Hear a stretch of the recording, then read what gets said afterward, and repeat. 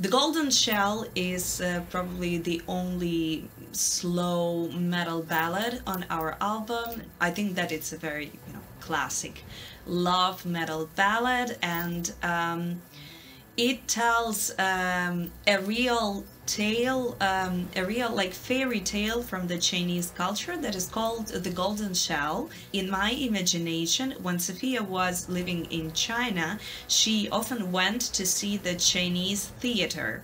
And in my imagination, she was visiting the theater, and these um, Chinese fairy tale was just uh, performed on stage. Yeah, this is a tale about uh, um, a guy who was fishing and he found this golden shell and he brought it to his home and this golden shell transferred to um, a beautiful woman and they fell in love. Yeah, she had a mother who uh, didn't want them to be together and this mother was from from the marine world and yeah he fought uh, for his love and everything but of course in our metal ballad like everything is more dramatic and sad well because it's a metal ballad uh, but I still would like you to hear it. Uh, I think that um, this is a song, you know, that you can listen to when you're walking somewhere in the autumn forest.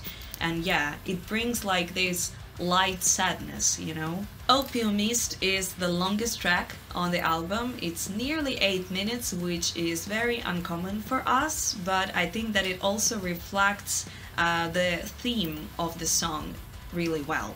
Uh, basically, when Sophia was traveling um, on one of her trips to China, she was friends with an old Chinese guy and um, they smoked opium because that was pretty common uh, in China back then.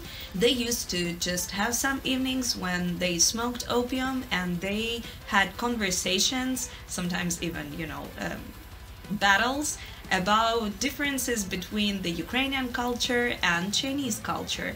And uh, they always argued uh, on some things from the philosophical point of view because, uh, as Sophia described, the Chinese were very fatalistic, you know, so they um, they didn't want to change anything for the better and they just went with the flow and uh, that was very uncommon for her because she was building her story and her life and she went against the system so this was always something that she couldn't really understand. But actually, like this old Chinese guy, he always said that uh, when Sophia leaves China, she also leaves all the fatalism that it comes with, and she will also stop um, smoking opium, and that she would never understand the Chinese culture until, you know, until the very depth. But it's also interesting that when she was uh, leaving China, uh, he gifted her like this pipe box uh, for smoking opium as a gift, which was also very uncommon for the local people because they were they weren't as um, you know hospitable. So they really didn't like people from outside to penetrate into their lives.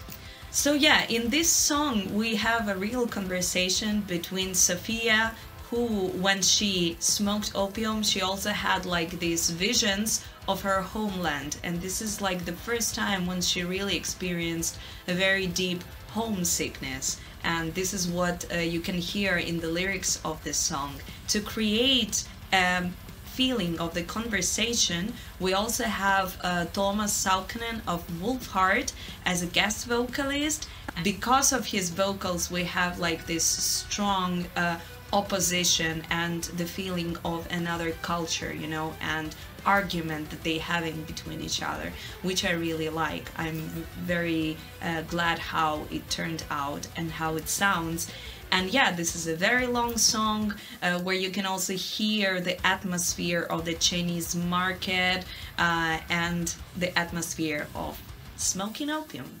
The last song on the album is called Zenith. We call it among us Zenith because this is like the Ukrainian um, title. And actually, this song is also in Ukrainian language. I think that this is like one of the saddest and most disturbing uh, songs on the album, although it sounds really dreamy, uh, but still, uh, like I said before, Sophia was called Teura, which is translated as the red bird. And uh, in the song, we actually tell the story of the bird that really cannot settle down uh, because this is not something in its nature. This song tells about a bird that is flying home and uh, the bird doesn't have the strength to fly home, but still it does.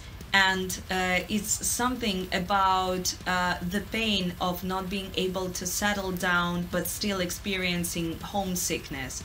And I also can relate to that because when I travel somewhere, I really am so glad to discover new places, but there is always a point when you want to be back home.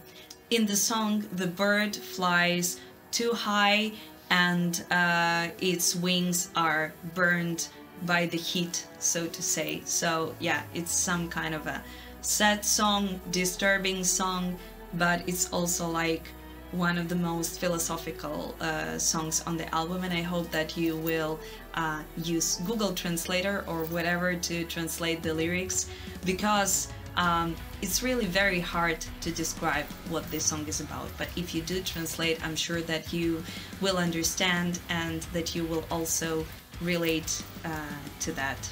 I also think that this song is quite uncommon for our sound and it was one of the latest songs to be written and it also ends with a riff that gives you some feeling that it's not the end of the album and uh, maybe who knows maybe we will start our next album with the beginning like the continuation of this riff